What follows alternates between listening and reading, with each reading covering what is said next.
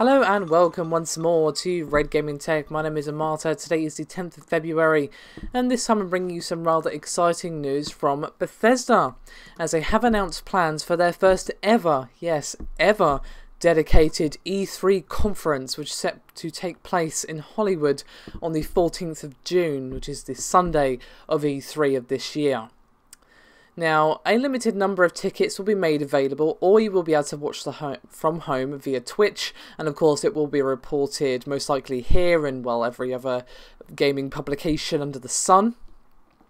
And now, of course, the speculation turns to what Bethesda will be showing. Unfortunately, there's no official word, so speculation and wild rumours is all we have. But obviously, the next big project for Bethesda is rumoured to be Fallout 4 which has apparently entered full production back in April of last year following the launch of Skyrim's final DLC.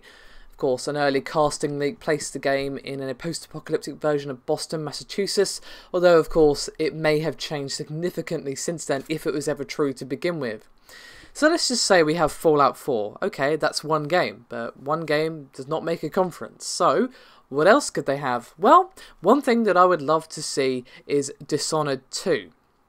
And of course, we have had some rumours regarding Dishonored 2 floating around for a while. And we even have a title, which is Dishonored 2 Darkness of Tyvia, which of course, as I said, is rumoured. So, okay, Dishonored 2, awesome. Fallout 4, awesome. What else could we possibly have? Well, of course, we have The Elder Scrolls Online, which is in full swing. We could see some new content for that. But of course, we have the free to play upcoming multiplayer game Battlecry from Bethesda, so we'll most likely see that make an appearance. And what we're likely to see more of is the Doom reboot, which of course is being developed with id Tech 6 for all the next gen consoles, that being PC, PS4, and Xbox One.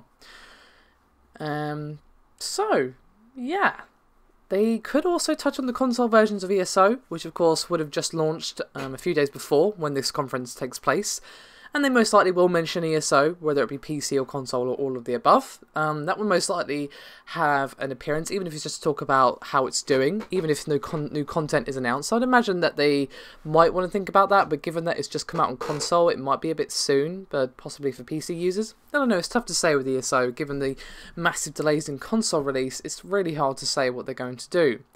But to be honest, as long as there's Fallout 4 and Dishonored 2, don't really care. As long as those two are present, I am happy. Dishonored 2 would be amazing. Fallout 4, of course, amazing.